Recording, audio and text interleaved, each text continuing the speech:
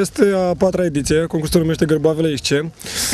Participă foarte mulți concurenți din toată țara, Craiova, Iași, București, peste tot. Traseul anul acesta a suferit o mică schimbare.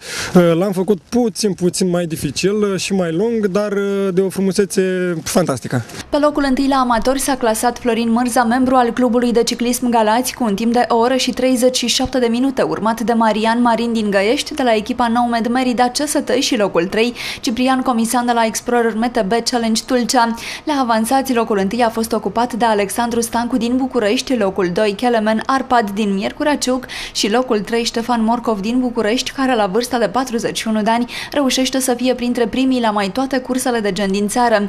Chiar dacă s-au înscris 250 de participanți, la start s-au aliniat doar 209, vremea fiind principalul factor care i-a convins pe cei mai mulți să stea acasă. La feta Alexandra Dobre din Zărnești s-a impus cu un timp de 2 ore și 29 de minute, urmată fiind de Adriana Ceaușescu din București și Irina Vișan din Câmpina.